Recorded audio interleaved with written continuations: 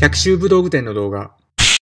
屋根より高い。あこんにちは、百秋ブログテの上です。やってますか？おー今日は面を打つときに、市内が横にブレる。やります。まっすぐ真ん中を打ちたいんだけど、市内が横にブレて、こっちに流れちゃう。こっちに流れちゃう。小学生は特に多いですね。一瞬当たったと思うんだけど、こっから横に流れちゃう。なんで市内が横にブレて、思ったところにまっすぐ打てないんでしょうか？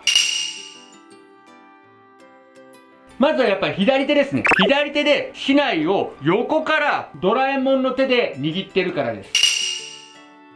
正しい握り方っていうのは、ここでしたね。このライン、このライン。このラインを、この市内の上のラインに合わせて持つと。そうすると上からまっすぐ持てます。この V 字のラインと、この市内の上のラインをまっすぐ揃えるように、左手を上から持つってことですね。左手が横から握っちゃうっていうのは、こっちの方が持ちやすいからなんです。そのために、左手を横から握ると、気持ち悪い、なんか変だなって思っちゃう市内があるんです。それ小判型市内って言います。ここの塚のこの左手のところが、普通市内って丸、まん丸なんだけど、こう楕円になってんのね。楕円になってる市内があるんです。小判型市内だと、横から持っちゃうと、手に馴染まないのね。だから気持ち悪くなって、どうしてもやっぱり上から握るようになるわけです。こういう市内使ってみるのもすごくいいと思う。次の原因は、左肘。左肘が構えた時に開いちゃってんの。こういう構えになってる人。左肘が開くと、左手はもちろん体の真ん中に来ないんだよね。ずれちゃう。そうすると、力が市内にまっすぐ伝わらなくて、やっぱり市内がブレるんです。構えた時、打った時、左肘が開いてる人、ほんと多いです。やりたいことは左肘を開かないで左手を体の真ん中中心に持ってくるっていうことなんだけど肘とか左手を意識してもなかなかうまくいかないのね。その場合には、左の腕、左の肘の内側を軽く胴につけるなんです。軽く胴につける。そして打つ時には、つけた胴をちょっとこうするようにして前に打ちます。胴についた左肘を胴にこう擦るようにして、軽く擦るようにして前に手元を出しちゃう。そうすると左手が入った打ちができるようになります。まあイメージだけどね。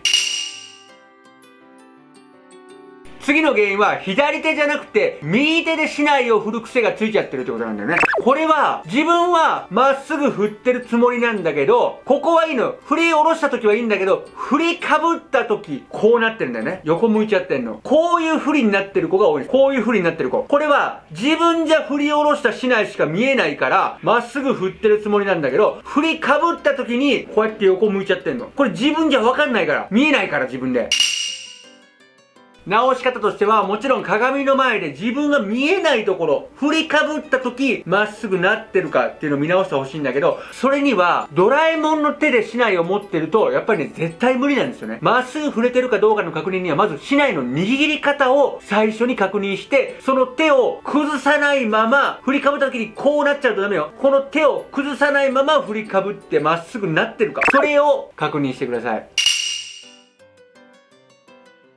最後の原因は、お互いの相面の時にもう一番わかりやすいと思うんだけど、相手が面を打ってきました。それを自分は自分の手元で面を、よ、怖いから、怖いからこうやって避けながら自分も面を打とうとしているパターン。そうすると必ず市内は横にぶれます。思い通りのとこ当たらないです。これ直し方って言っても結構大人の人でも打ってくる面をみんなここで手元で避けて自分は面を打とうっていう人結構いるんで、この相手の面を手元で避けながらの面っていうのはもうね、これやってても多分上手にならないと思う。もうこういうのは卒業しよう。みんなやりたいのはまっすぐドーンっていう面じゃない、やっぱり。だから、もう稽古なんだから打たれてもいいじゃない。例えば相面だったら相手の面も当たるし自分の面も当たるっていう、そういう相打ちの練習でいいんじゃないの？いかがでしたか？今日は市内が横にぶれる。打った後に横にぶれる原因4つと直し方やりました。今日もご覧いただいてありがとうございました。またいつかお会いできる日を。